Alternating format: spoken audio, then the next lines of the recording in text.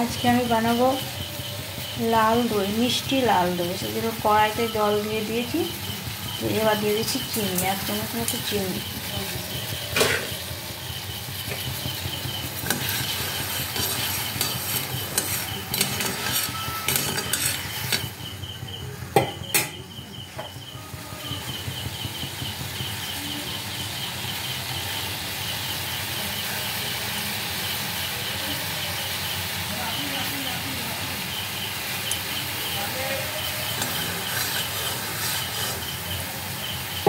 চিনিটা গলে যাওয়া পর্যন্ত অপেক্ষা করতে হবে।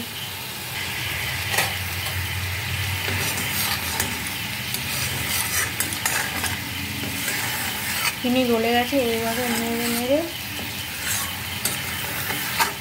লাল হওয়া অবধি অপেক্ষা করতে হবে। লাল হয়ে গেলে বুঝব চিনিটা হয়ে গেছে।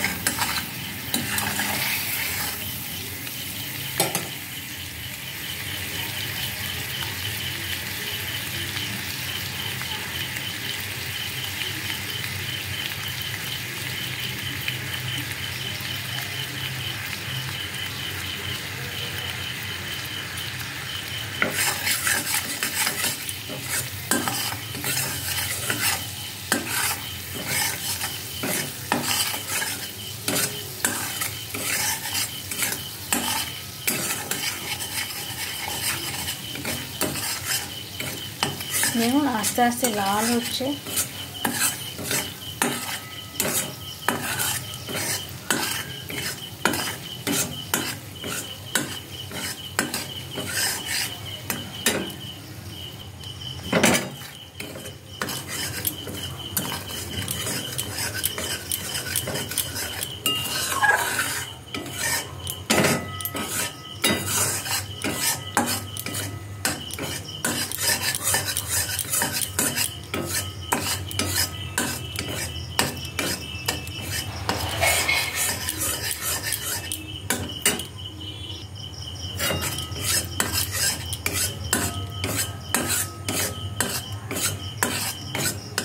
এই সময় গ্যাসের ফ্লেমটা কমানোই থাকবে।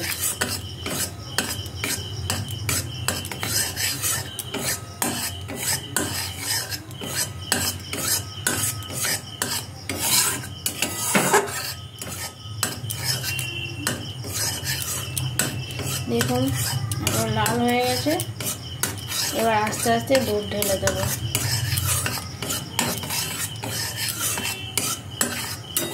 এই যে দেখুন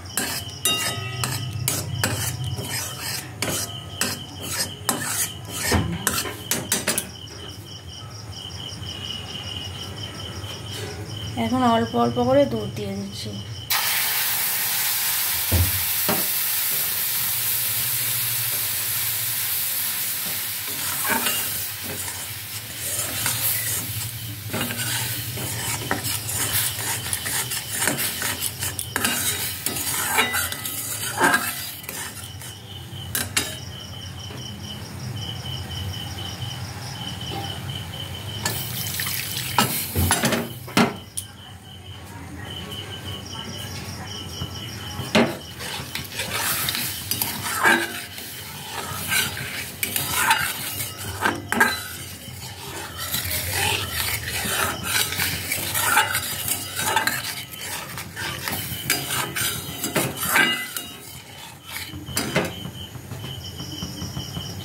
এবারে সব দুধটাই দিয়ে দেবো।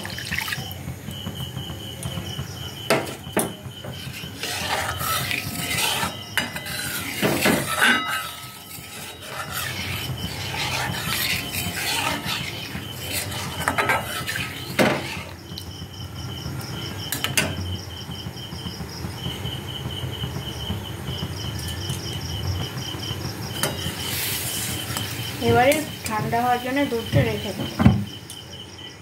কিছুক্ষণ মধ্যে ঠান্ডা হয়ে যাবে। আসছে ঠান্ডা হওয়ার পর।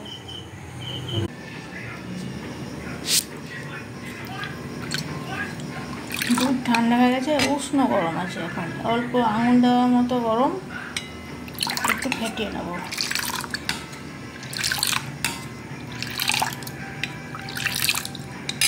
এদিকে নিয়ে নিয়েছি জল ঝরানো দই নিয়েছি।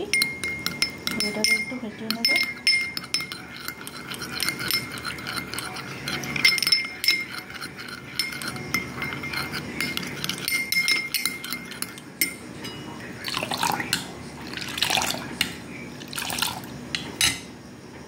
এবারে এই দুধটা বাটিতে ঢেলে দেবো।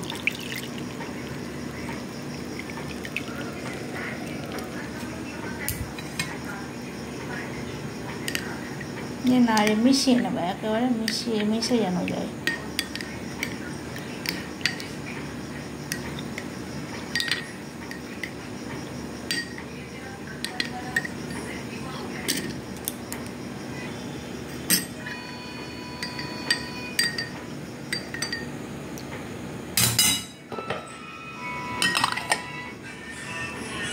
এবার ঢেকে দেবো। একটা কাপড় দিয়ে ঢেকে দিলাম। এতে গরমও থাকবে আর বাইরে পোকামাকড় ঢুকতে পারবে না। এভাবে এক রাত রেখে দেবো, আট ঘণ্টা মতো।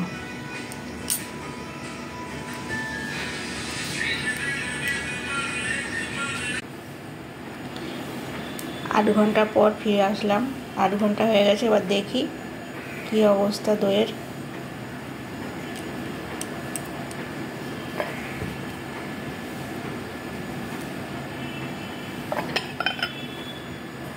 এই যে দেখুন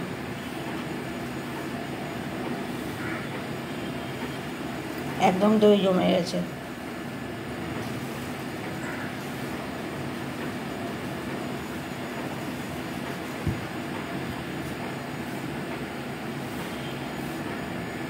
এইভাবে আপনারাও করুন বাড়িতে জমে যাবে।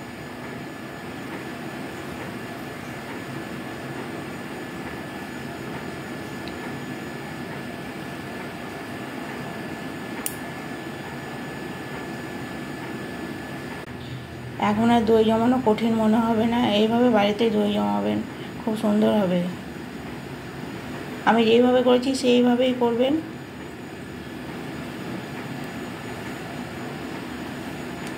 মনে রাখবেন পুরনো দই যেটা সাজো বলি আমরা, সেটা একটু জল ঝরিয়ে দেবেন, তাহলে দই জল কাটবে না।